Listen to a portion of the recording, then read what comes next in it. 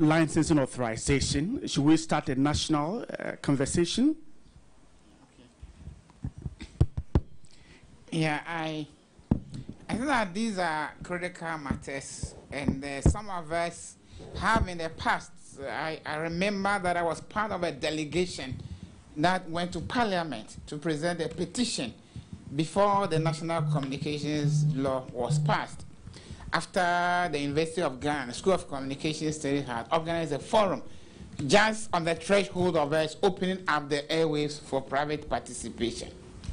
And our, our argument at the time was that the National Media Commission was in a better position to look into the issues of dealing with frequency than the frequency registration and, and regulation board at the time. You know.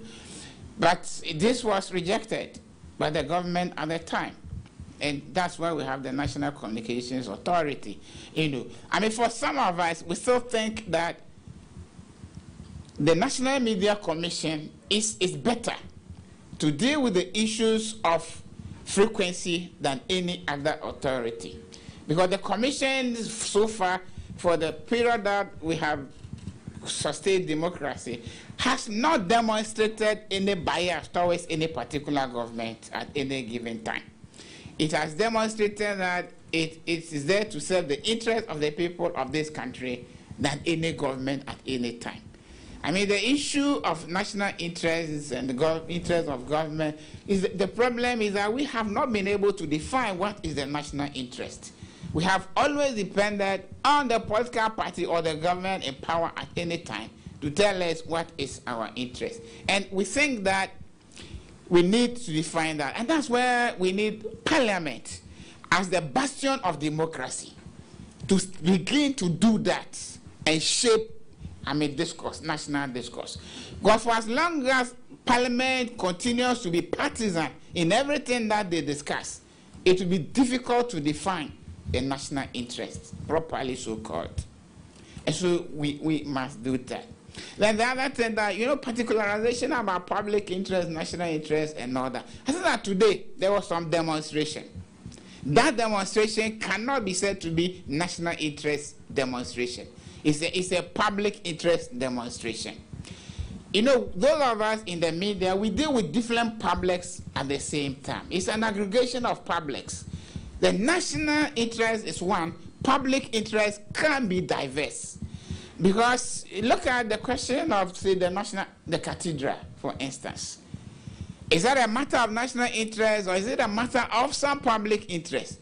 And you see the argument. Some people are arguing so lividly that it is something that is positive, and others are arguing against that. The media cannot decide that one argument should be dismissed as against another argument. The media must resonate both sides of those public arguments and leave the rest of our, all of us to determine that. If we come to a national consensus on that matter and we resolve it, then that will be the national interest. Until then, there will be as many interests as there are divided public. And so sometimes it becomes necessary that you distinguish between the interests of a certain public as against the interests of the nation. And we will continue I mean, I mean, to do that. Now, our friend there, he's, he's, he's gone. And he's talking about that. I mean, you invite me to your radio station, you don't lose control over me. If you lose control over me, it is your, li- your liability. Because you are not under any obligation to invite me to your studio to come and do anything that I am doing. It is, it is, I mean, we are human and therefore, it's, in some situations, it may not be possible for you to intervene.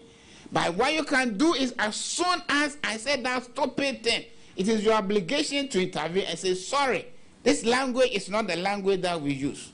I said that me listening to you, I'll be very much appeased. What annoys people, and the travesty is this, that when somebody has said something that you know to be true, you say, oh, you have expressed your view. What kind of view is that? I mean, very useless view. You know, so you you you make me worse off. Eh? That's what Bishop Desmond Tutu says, victimizing the victim twice. You know, and that's what our elders say. That the, the lizard says that it is not angered about the one that shoots at it and kill it, than the one who stands by and say, ah, you are a great maths person. and that is the problem. So when when somebody comes to your studio and he's carrying the egg, first and foremost, ask what is the purpose of the egg at the studio? The egg has no business at the studio, so stop it.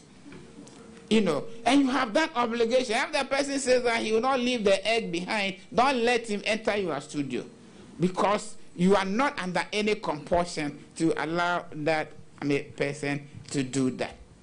Now, there was another issue also about ownership and what it represents. You know, yes, I mean, I mean, if the NDC sets up uh, a media house, you don't expect that it will propagate the virtues of the NPP. But what it should not do is to do propaganda about the NPP or to do propaganda about itself. I mean, at the heart of journalism is objectivity. For as long as you pursue NDC issues that are objective, that is within your purview. So the fact that it is an NDC station does not mean that every day it is going to churn out things that are untrue about the NPP as a way of prosecuting the agenda of the NDC. That one is not permissible. But for as long as it remains objective in the things that it is saying about the NDC, nobody can fault it. You can argue about it because, you see, at the end of the day, as Achebe has said, Achebe says that, you know, the cock that is in that community, you know, is a proper, it, it belongs to one household. Not even the household. It may be it may be owned by only somebody inside that house. But when it crows, the voice is the property of the neighborhood. And those of us who live in the village setting and who knew what the cock did in those days, the cock was a voice of awakening people that duty calls. And if you have a cock that crowed at times that were so loud that when people woke up, they encountered the spirits of the underworld. I said that the next morning there will be a demand that that cock should be slaughtered. you know, so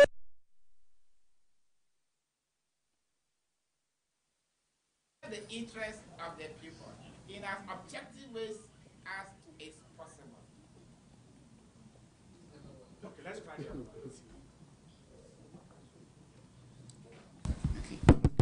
Right. So uh, I think I think that these are some of the issues that we need to deal with. And we as journalists, as, as media people, must be sincere with ourselves. So when we speak of freedom, that we have freedom, it is like speaking about Paul. Either when he was Saul or either when he was Paul.